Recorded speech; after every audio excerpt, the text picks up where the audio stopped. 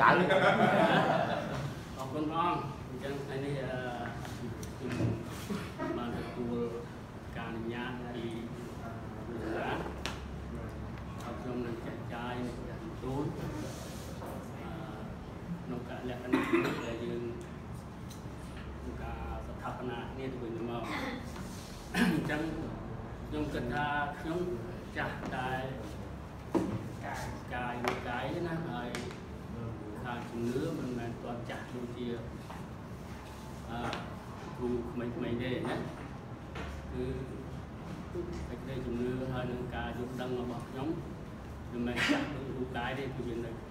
ខ្ចីនៅឡើយអញ្ចឹងណាអញ្ចឹងយើងអឺដូចជាខ្ញុំខ្ញុំនឹងបន្ទាបខ្លួនទទួលយកអ្វីពី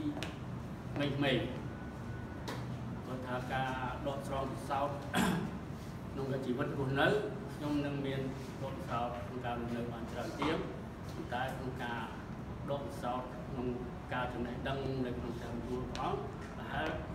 វាមិនបានច្រើនដូចមួយមួយគ្រូគ្រូដែលមិនមិននោះទេណាអញ្ចឹងខ្ញុំព្រឹកនេះខ្ញុំមានខទី1ខទី2ខ្ញុំយកមកជួយតាមជាអត្ថបទនៅក្នុងសេចក្តីអធិប្បាយរបស់ខ្ញុំហ្នឹងគឺតែ4ខទេ ប៉ុន្តែយើងខុស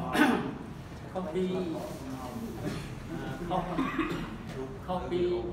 ប្រធានបទមួយដែលយើងរៀនអំពីសញ្ញាចាស់អញ្ចឹងណាប៉ុន្តែខ្ញុំអធិប្បាយនេះទៅយកជាអត្ថបទនៅក្នុងទៅពីសញ្ញាថ្មីវិញជាខុសក្នុង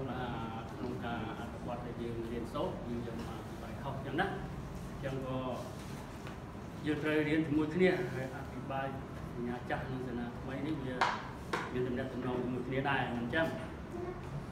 អញ្ចឹងខ្ញុំមានខកពីនៅក្នុងកពីមកកប់ចំពោះ4ខ34ដល់41អញ្ចឹងវាតែ4ខឯណាអញ្ចឹងខ្ញុំខំសរសេរងាយមិញដែរខ45ដល់ខ41 35 41បាទបាទចប់ហ្នឹង អញ្ចឹងខ្ញុំអានជូនដល់គ្រូគ្រូគ្រូឃើញហើយលោកវាល្ងាចថ្ងៃនោះឯងទ្រង់មានបន្ទូលទៅពួកសិស្សថាចូលយើងឆ្លងទៅត្រង់ខាងការបានទៅវោបានឲ្យវោមនុស្សទៅវិញហើយនោះពួកសិស្សក៏ទទួលទ្រង់តាមភាពដដែលទៅក្នុងទូក ហើយមានទូកតូចតូចខ្លះទៀតទៅជាមួយដែរនោះកើតមានខ្យល់ព្យុះជាខ្លាំងហើយរលកបោកចូលក្នុងទូកដល់ម្លេះបានជាទូកពេញពេញហើយតែទ្រង់ទុំលុកលើលើខ្នើយនៅកន្សៃទូកពួកសិស្សដាស់ទ្រង់ឡើងគូថាគ្រូអើយយើងវិនិច្ឆ័យហើយលោកមិនរវល់ទេឬអី ការតានឡើងត្រង់កំកំហែងខ្យល់ក៏បង្គាប់ទៅសមុទ្រថាចូលស្ងៀមទៅហើយឈប់ចុះនោះខ្យល់ក៏ស្ងប់ហើយស្ងាត់ឈឹងសូនទាំងអស់ទៅរួចទ្រង់មានបន្ទូលថាហេតុអ្វីបានជាអ្នករាល់គ្នាភ័យដល់ម្លេះតែគ្មានសេចក្តីជំនឿ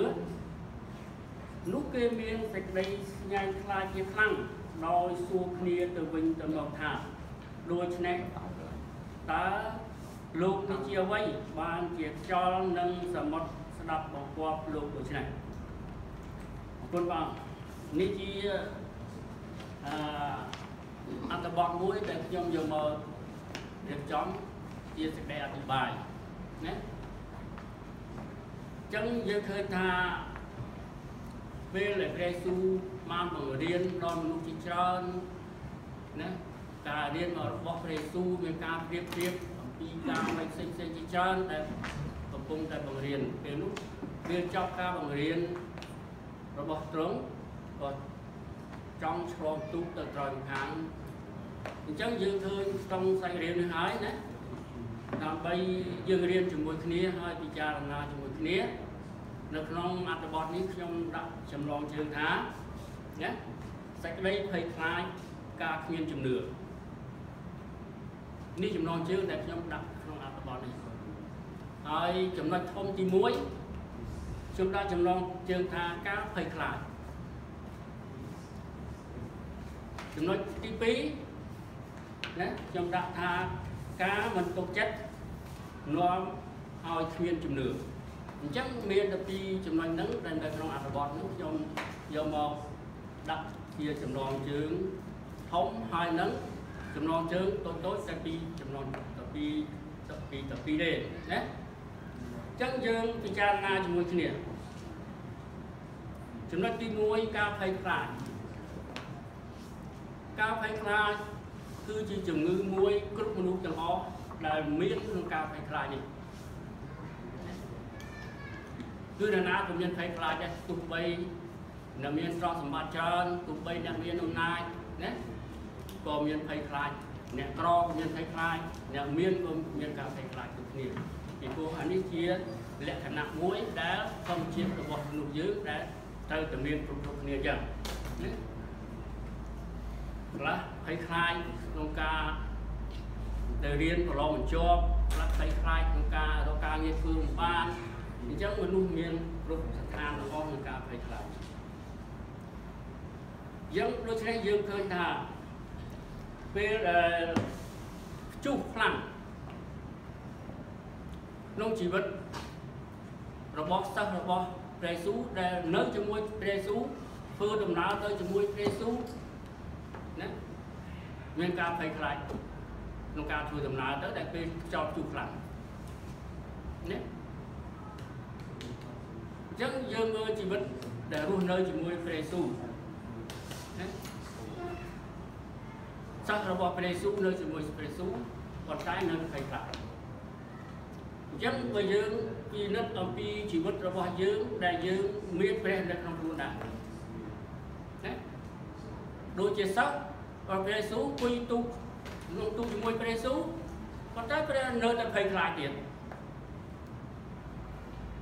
អញ្ចឹងយើងយើងដែលជាអ្នកជឿដល់ព្រះអង្គឬក៏យើងជាអ្នកបម្រើព្រះអង្គ តើយើងពិចារណាអំពីសិស្សរបស់ព្រះយេស៊ូវហើយនឹងយើងតើបើយើងជួបបញ្ហាក្នុងជីវិតណាក្នុងការរស់នៅបច្ចុប្បន្ននេះម្នាក់ម្នាក់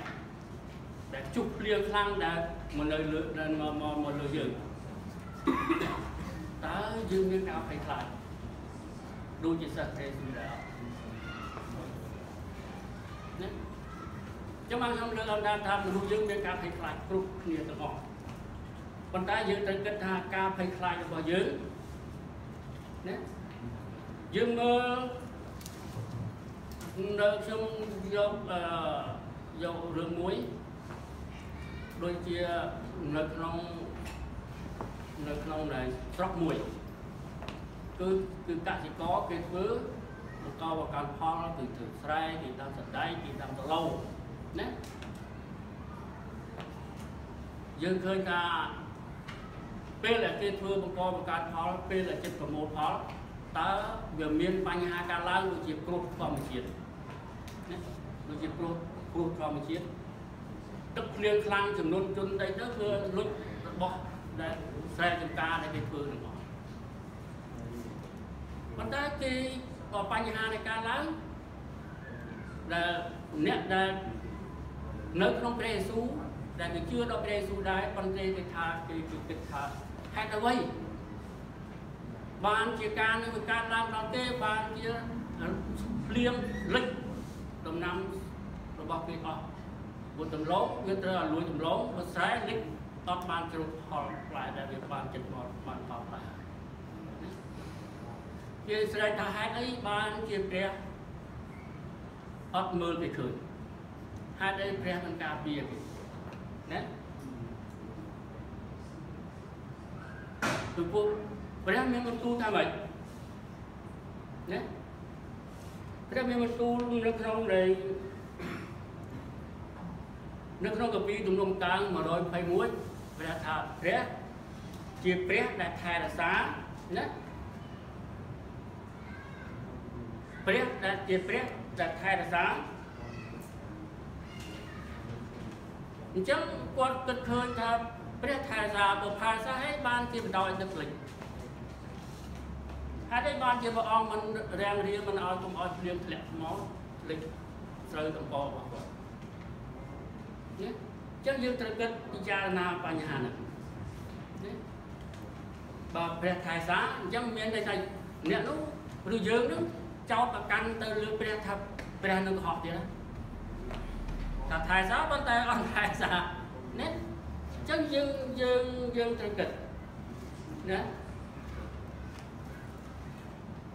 ចឹងហើយបានជាដាវីតគាត់បានលើកឡើងអំពីការដែលគាត់ជួបប្រទះគាត់បាននិយាយថាម៉េចនៅក្នុងគម្ពីរទំនុកបង្កើនដែរ56ចំពោះ4គម្ពីរថាម៉េចសេចក្តីពឹងពាក់ របស់ទូលបង្គំទុកនៅក្នុងទ្រង់ដាវីតគាត់ថាសេចក្តីពឹងពាក់របស់គាត់នៅក្នុងទ្រង់អញ្ចឹងអ្វីអ្វីនៅលើព្រះនៅលើព្រះដូច្នេះយើងត្រូវគិតអំពីចំណុចហ្នឹងនៅចំណុចហ្នឹងបើយើងបើយើងគិតថាមកពីព្រះមិនថែសា បានយើងអញ្ចឹងបើព្រះថែសាវាមិនកើតហេតុការណ៍នេះប៉ុន្តែយើងត្រូវមានគំនិតមួយដែលយើងត្រូវចិត្តដល់ព្រះអង្គយើងយើងយើងជាអ្នកជឿព្រះអង្គយើងត្រូវតែដូចជាព្រះដូចជាស្ដេចដាវីតដែលគាត់ថាសេចសេចក្តីពឹងពាក់របស់គាត់គឺលើលើព្រះអញ្ចឹងយើងទាំងអស់គ្នាត្រូវតែទទួលស្គាល់នៅព្រះបន្ទូលរបស់ព្រះយើងមិនមែនថាអូហេតុអីបានជាខ្ញុំកើតឡើងដូចនេះ ហេតុអីបានកើតឡើងដូចនេះដូច្នេះហើយបានជាយើងត្រូវគិតនៅក្នុងព្រះបន្ទូលរបស់ព្រះដែលបានមានបន្ទូលមកកាន់យើងដើម្បីឲ្យយើងនឹងមានសេចក្តីក្លាហានគួរយកនៅការឧបសគ្គទាំងឡាយដែលវាកើតមកដល់យើងពួកយើងត្រូវតែទឹកត្រូវគិតថាព្រះជាទីពឹងពាក់របស់យើងអត់មានទីពឹងពាក់ណាទៀតណា អត់មានទីពឹងគេផ្សេងទៀតទេគឺជាទីពឹងតែព្រះមួយណាសម្រាប់ជីវិតរបស់យើងនេះហើយដែលជាជាចំណុចមួយដែលសំខាន់របស់យើងដែលយើងអ្នកជឿព្រះអង្គកុំថាហេតុការណ៍ដែលកើតឡើងសម្រាប់យើងណាទៅជាដាក់កំហុសទៅលើព្រះវិញដូច្នេះបើយើងបើយើងមានទំនុកទុកចិត្តលើព្រះគឺយើងមិនភ័យខ្លាចដោយសារយើងមិនទុកចិត្តលើព្រះហើយយើងមិន ថាទីជាទីពឹងរបស់យើងយើងទៅជាមានការភ័យខ្លាចនេះគឺជាភ័យខ្លាចនេះជាចំណុចមួយដែលយើងត្រូវពិចារណាអំពីជីវិតរបស់យើងដែលយើងជាអ្នកដឹកនាំហើយយើងជាអ្នកដែលអឺស្គាល់នៅសេចក្តីពិតរបស់ព្រះណាសេចក្តីពិតរបស់ព្រះដូចយើងសិស្សមើលនៅជាមួយព្រះយេស៊ូវហើយប៉ុន្តែនៅតែភ័យខ្លាចទៀតណា នៅតែភ័យខ្លាចណានៅតែភ័យខ្លាចទៀតប៉ុន្តែយើងតើយើងនៅក្នុងព្រះយេស៊ូវហើយតើយើងនៅភ័យខ្លាចទៀតអត់ទេណាបើបើព្រះព្រះបន្ទូលមានទូលមកដល់យើងថាព្រះជាអ្នកថែសាព្រះជាអ្នកការពារយើងពីព្រោះយើងឃើញថាលោកគ្រូដែលអធិប្បាយអំបញ្ញមិញ គាត់ថាព្រះធំព្រះដែលជាអ្នកបង្កើតអ្វីអ្វីមិនមែនអ្នករបស់ដែលបង្កើតនឹងវាធំជាងព្រះទេវាព្រោះព្រះជាអ្នកបង្កើតបើយើងទទួលស្គាល់ថាព្រះធំអញ្ចឹងតែព្រះមានវិចេស្តាអញ្ចឹងហេតុអីបានយើងមានការភ័យខ្លាចហេតុអីបានយើងមានភ័យខ្លាចពីព្រោះការភ័យខ្លាចសូម្បីតែយើងទឹកផ្សាយនឹងល្អក៏មានអារម្មណ៍មួយថាអូភ័យខ្លាច បញ្ហាចេះបញ្ហាចេះមួយនេះជាមួយអ្នកដែលយើងប្រាប់គេប៉ុន្តែបើយើងត្រូវទទួលស្គាល់ថាព្រះធំមែនព្រះនៅជាមួយយើងមែនថែសារយើងមែនណាហើយយើងយើងថាយកព្រះជាទីពឹងជាទីជំរកយើងមែនតែហើយនៅយើងមានអារម្មណ៍ភ័យខ្លាចអញ្ចឹងខ្ញុំគិតថាដែលយើងនៅក្នុងព្រះខ្ញុំថាគិតថាមិនត្រូវភ័យខ្លាច មិនគិតត្រូវមិនត្រូវគិតថាភ័យខ្លាចខ្ញុំដូចជារូបខ្ញុំខ្ញុំចាស់ដូចសំណាងថាខ្ញុំទៅជិះឡានតាំងពីម៉ោង7រហូតដល់ម៉ោង4ល្ងាចបានដល់ពីដែរប៉ុន្តែខ្ញុំគិតថាខ្ញុំមិនខ្លាចថាសុខភាពរបស់ខ្ញុំខ្ញុំមិនដែរ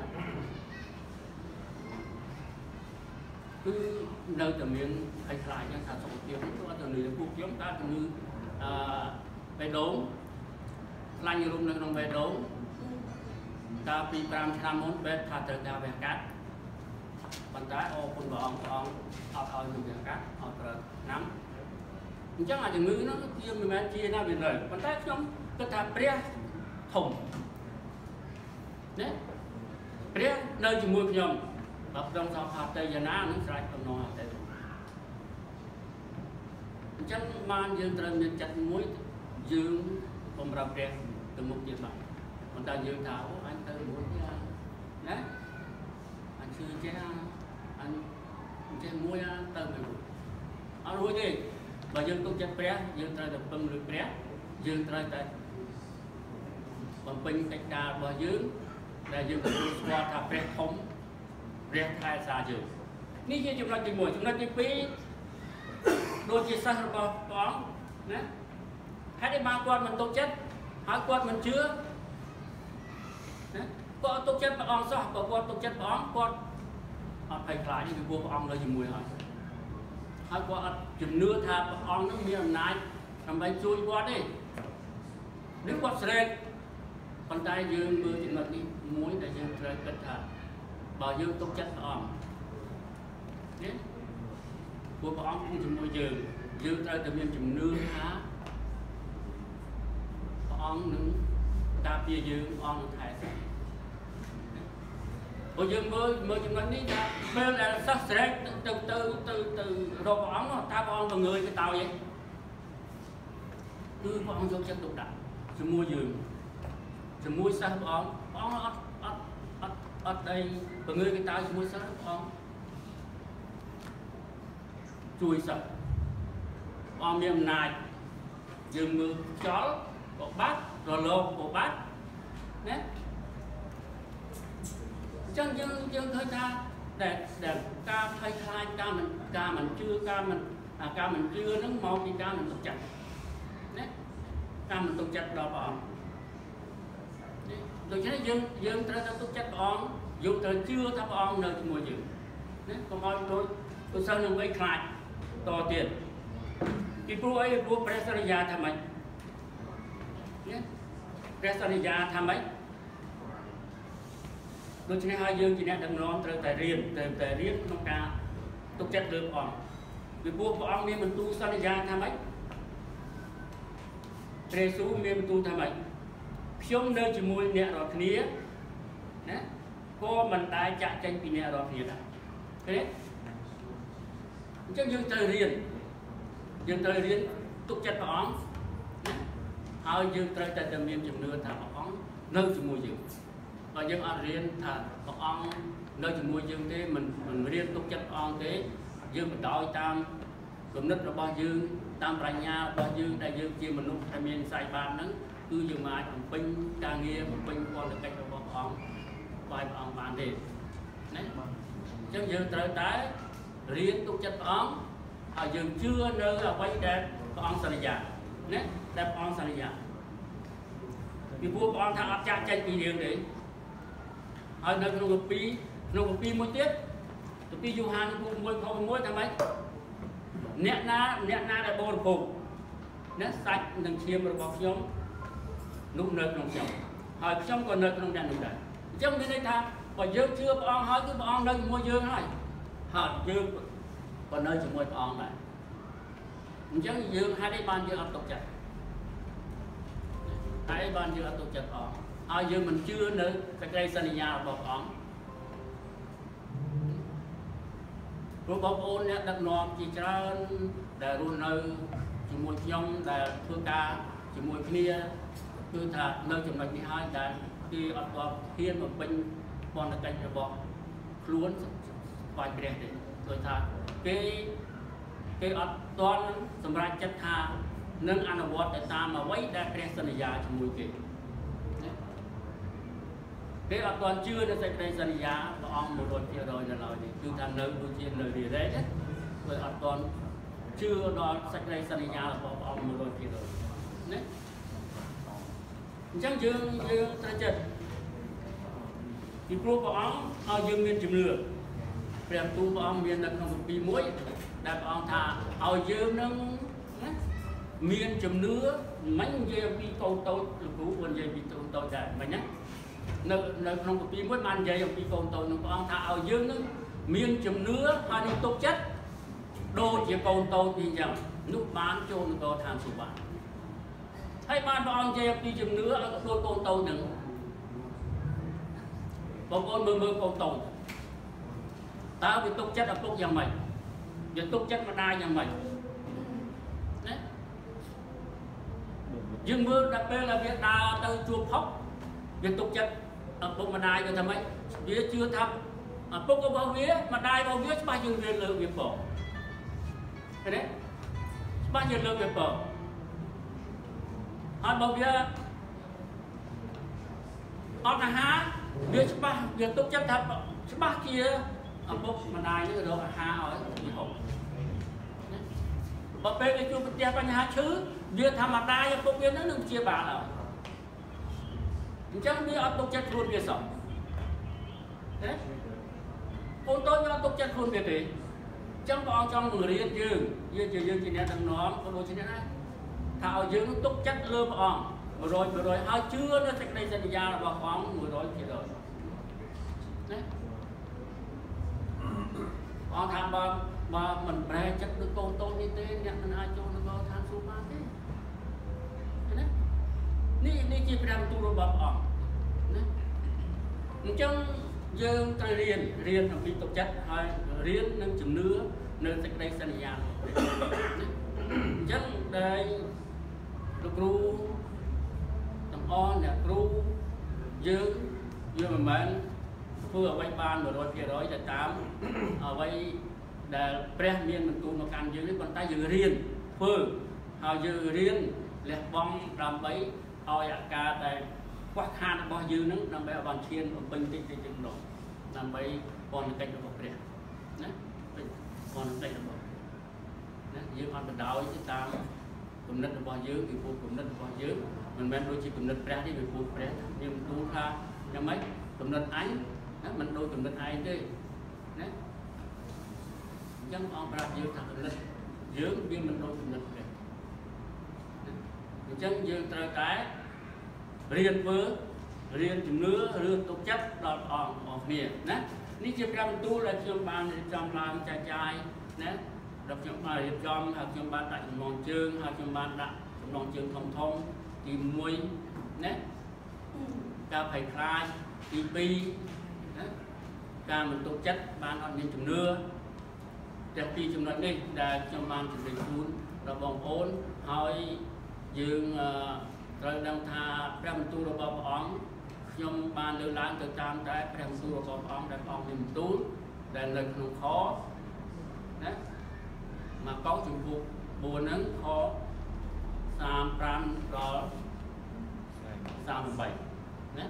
អញ្ចឹងនេះជាព្រះបន្ទូលរបស់ព្រះអង្គសម្រាប់យើងហើយនឹងលើកចិត្តចិត្តយើង ហើយនឹងជួយអឺអឺរំលឹកយើងដើម្បីឲ្យយើងរៀនទុកចិត្តដល់ព្រះអង្គសូមអរគុណហើយសូមព្រះរៀនបង